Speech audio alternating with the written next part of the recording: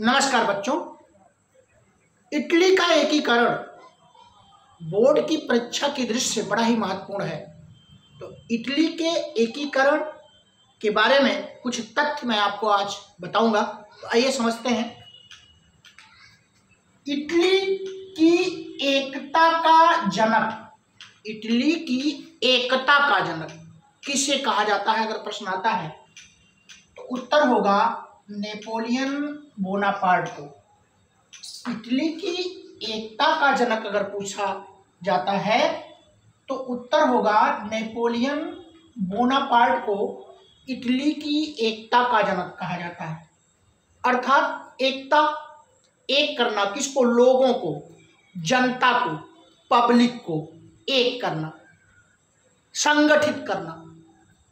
और अगर प्रश्न पूछा जाता है इटली की एकीकरण का जनक। इटली की एकीकरण अर्थात इटली कई राज्यों में विभक्त था, बटा हुआ था।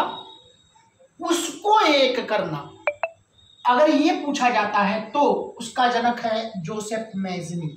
मैसनी या जूसेपे मेजनी मैसनी तो इटली की एकीकरण का जनक जोसेफ मेजनी को और एकता का जनक। एकता और एकीकरण।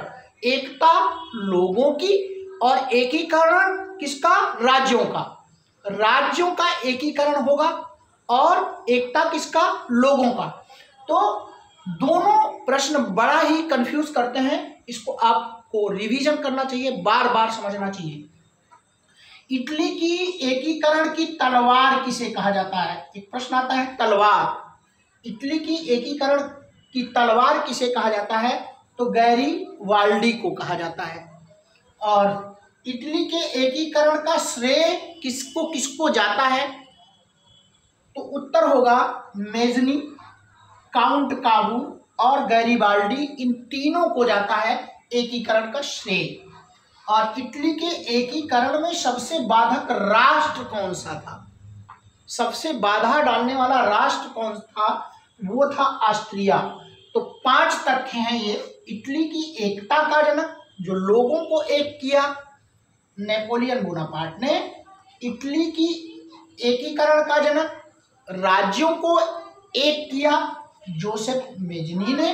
और इटली के एकीकरण की तलवार की उपाधि गैरीबाल्डी को। और इटली के एकीकरण का श्रेय अगर पूछता है तो मेजनी, अर्थात जोसेफ मेजनी या Giuseppe Mazzini, Mazzini, Count Cavour और गरीबाल्डी को जाता है और इटली के एकीकरण में सबसे बाधक, बाधा डालने वाला राष्ट्र अगर पूछता है तो ऑस्ट्रिया है। तो इस तरह से पाँच तथ्यों को मैंने आपको बताया। आप नौकरी गुरु यूट्यूब चैनल को सब्सक्राइब कीजिएगा। मिलता हूँ कुछ नया लेकर के। धन्यवाद। नमस्कार।